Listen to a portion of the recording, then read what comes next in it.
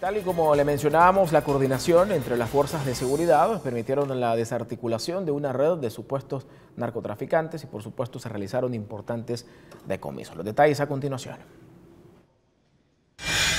18 integrantes de una estructura de distribución de drogas que operaba en Panchimalco, San Salvador, Soyapango y Santa Ana fueron capturados mediante órdenes de detención giradas por la Fiscalía General de la República.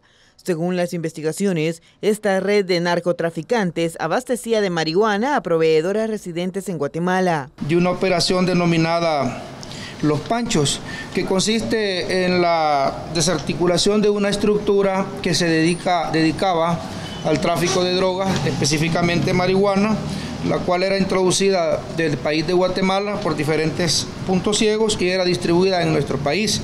Se han capturado una cantidad de 18 personas que conformaban la estructura. Eh, estos son de los lugares de Panchimalco, Soyapango, la zona occidental del país.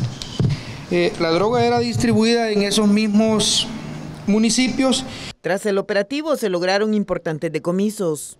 Se hicieron las incautaciones de 6.847 dólares, 1.750 quetzales, eh, munición, una motocicleta, un arma de fuego, 31 eh, teléfonos celulares y algunos otros objetos que han servido como evidencia. Los detenidos son acusados de los delitos de tráfico ilícito de drogas, actos preparatorias, proposición, conspiración y asociaciones ilícitas y hurto agravado.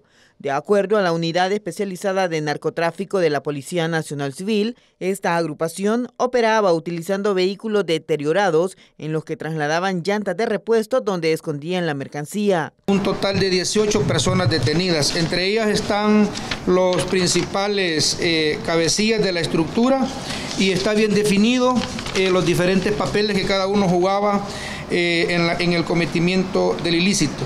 Entre los más importantes tenemos al señor José Andrés,